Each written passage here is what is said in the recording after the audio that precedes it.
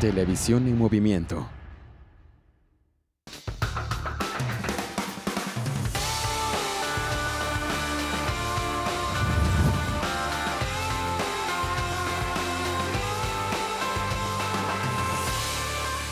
Hola, hola amigos de MBM Deportes, muy buenas noches, tengan todos ustedes bienvenidos una vez más a este su programa MBM Deportes, lo vuelvo a decir con mucho gusto.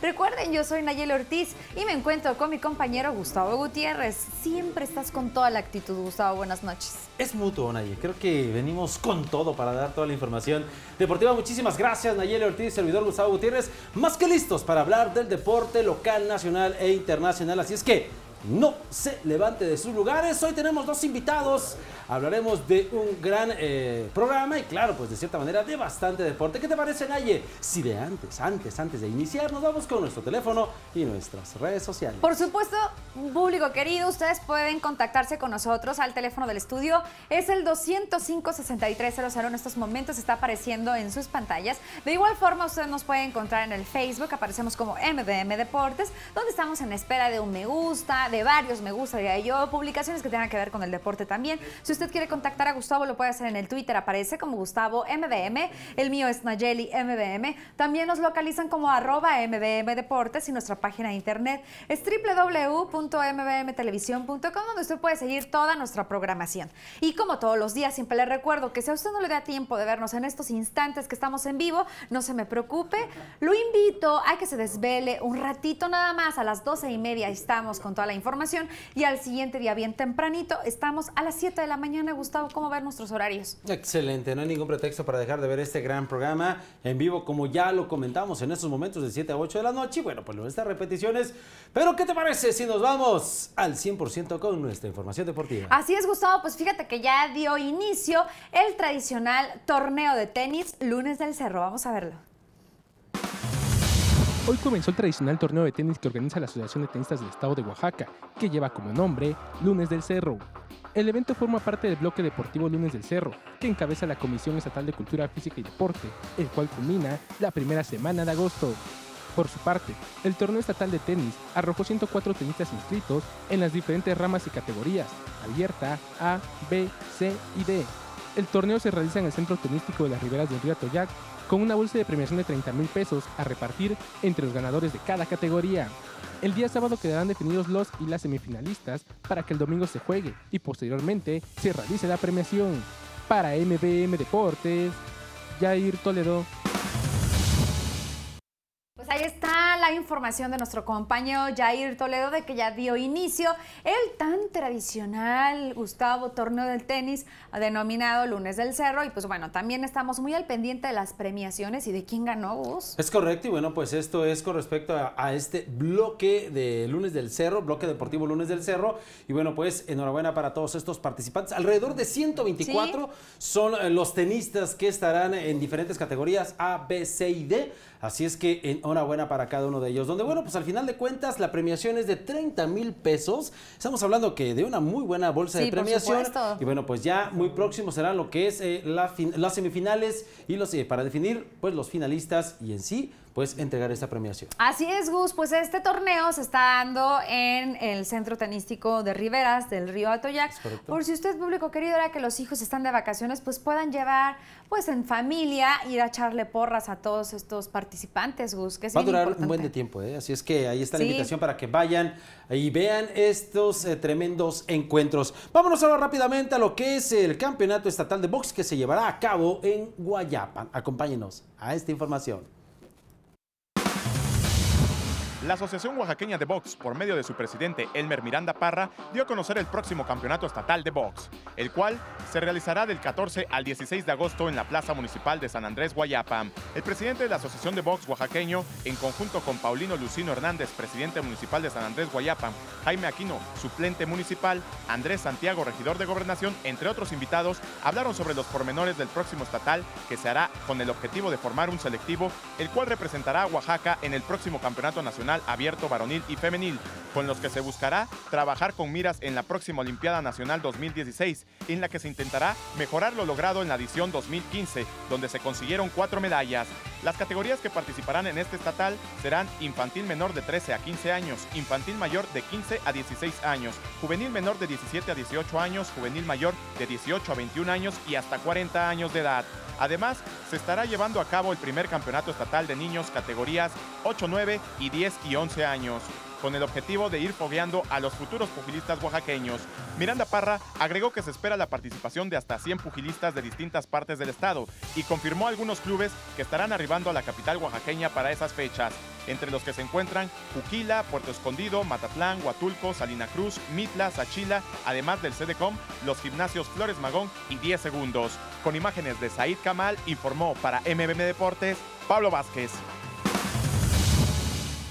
Bueno, pues ahí está la información que nos da precisamente Elmer Miranda Parra, que es el presidente de la Asociación de Box en el estado de Oaxaca. Y bueno, pues estas fechas del 14 al 16 de agosto, pues habrá un torneo de box donde, bueno, habrá una eh, espera o esperamos una nutrida participación de pues bastantes pugilistas y bueno pues los lugares que arribarán acá al estado pues está súper bien Sachilas y Matlán bueno mencionar algunos no Juquila Puerto Escondido en este caso también en el centro de Oaxaca que es 10 segundos y Ricardo Flores Magón estarán presentes en este gran Cedecom, eh, Jutla de de Crespo, no puede Crespo. faltar ahí si damos buenos Ah, puñetazos, ¿cómo no? sí. Claro, ¿quieres probar? No, muchísimas Ah, gracias. no es cierto. Gracias. Oye, pero fíjate que también nos da muchísimo gusto de que San Andrés Pues será sede de este, de este gran evento, Gustavo. 14 y 16 de agosto Sí, y fíjate que ya muchísimos lugares, muchísimos eh, clubes, pues ya están eh, confirmados para participar en este campeonato Qué estatal bárbaro. de Hay box. bastante box en el estado Sí, de Oaxaca. No nada más en el centro, sí. sino en todas las, las regiones que escuchamos que ya están confirmadas su participación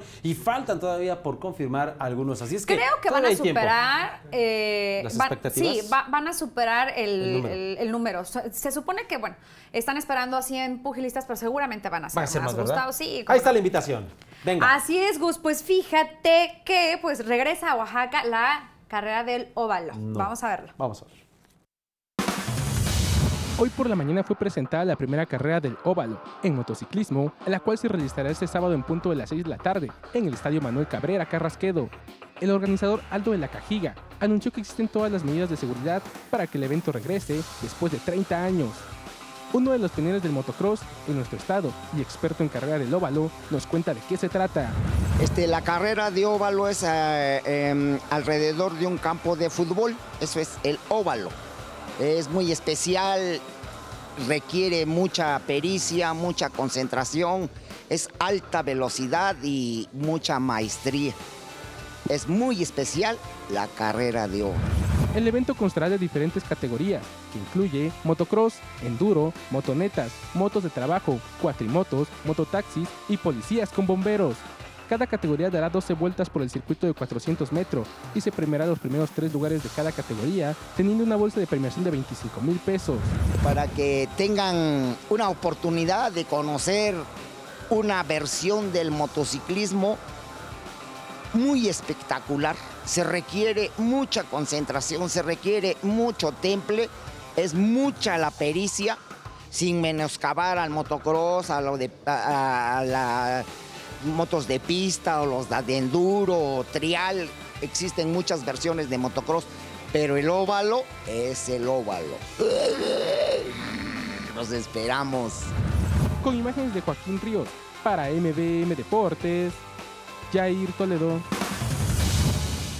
Escucharon, mira, con esta peculiar forma de explicarnos, pues este 17 y 18 se dará a cabo, fíjate que es el 17 y 18 de julio, o sea, ya este fin de semana en el Venustiano Carranza se dará a cabo esta primera carrera denominada óvalo, es de motocross, pero tiene varias categorías. Fíjate que la que me llamó tanto la atención es que también pueden participar mototaxis. Fíjate qué padre, ¿no? Mototaxis, motonetas, moto de trabajo, motocross, enduro y bueno, ya, ya escuchamos qué tal, cómo lo dijo Gustavo. Excelente. ¿eh? Oye, qué baro. Fue como un rugido de. Sí, como de un moto. Ah, rugido, sí, exacto, como un rugido motor. Y fíjate que desde algo muy interesante es que desde hace 20 años no se hacía este evento y ahora está de regreso. Gus. Pues venga, venga, todas, todas las actividades deportivas que tengamos y que nos deleiten con el espectáculo, bueno, pues sea bienvenido, ¿no? Y en este caso, pues enhorabuena para esta gran actividad que tendremos acá en el estado de Oaxaca. Bueno, pues vámonos al Nacional de 15 años de béisbol, donde, bueno, pues esperemos que Oaxaca pues pueda coronarse en este, en este momento del Rey de los Deportes. Es que acompáñenos a esta información. A un día de terminar el Nacional de Béisbol en la categoría 15 años, Oaxaca vive un gran torneo con uno de sus equipos aún con vida. Después de quedar eliminado Valles Centrales en la primera ronda, Oaxaca Istmo llegó a cuartos de final para enfrentar a Tamaulipas, el que curiosamente fuera el único equipo al que le ganara la novena de la Liga Monte Albán. En un encuentro de poco carreraje, el equipo de la Liga Yesid se mete a las semifinales después de derrotar 4 por 2 a los tamaulipecos. En otros resultados, Nuevo León venció a Nayarit 7 carreras por 3 y en el duelo por el orgullo de Baja California, Mexicali termina derrotando al que quedara como primero de su grupo Ensenada en un tremendo partido de 3 carreras a 2. Y por último, Sonora, uno de los favoritos para llevarse el torneo, derrota sin muchos problemas 7 carreras a 1 a Coahuila. Con estos resultados quedan listas las semifinales. En la primera llave se encontrarán Sonora y Mexicali, duelo que se llevará a cabo en la Academia de Béisbol Alfredo Harpelú. Y en la otra semifinal, Oaxaca Istmo se enfrentará a su similar de Nuevo León en el campo Che Reyes de la Liga Eduardo Vasconcelos. Informó para MBM Deportes Pablo Vázquez.